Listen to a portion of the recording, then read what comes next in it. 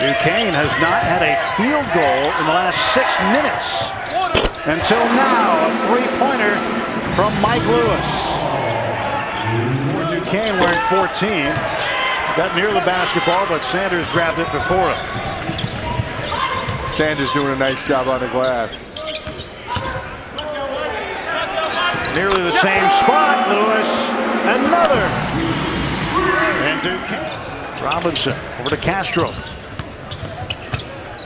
Castro had that one partially blocked, but there was Jordan Robinson with the game tire, 27 all. Good work by As you said, series tied at 31-31 in the A-10. Always good games between these two teams. Castro and Greg one-on-one. -on -one. Castro gets the shot and scores.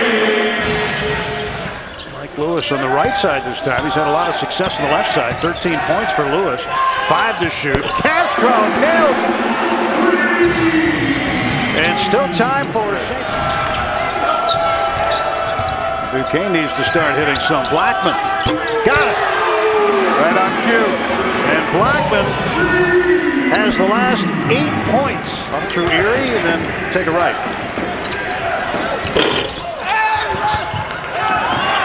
And this one could be uncontested. James in the game. As Eric James, guy we haven't seen yet tonight, comes in and Say Mike the lob. Blackman on the alley-oop finished off. This might be a three-point play as Blackman was fouled by Akese. Oh, a play by Duquesne. That's a great, great back screen here. No ball pressure. He's able to throw the lob off the back screen. And Blackman just goes and gets it and sends a message right there.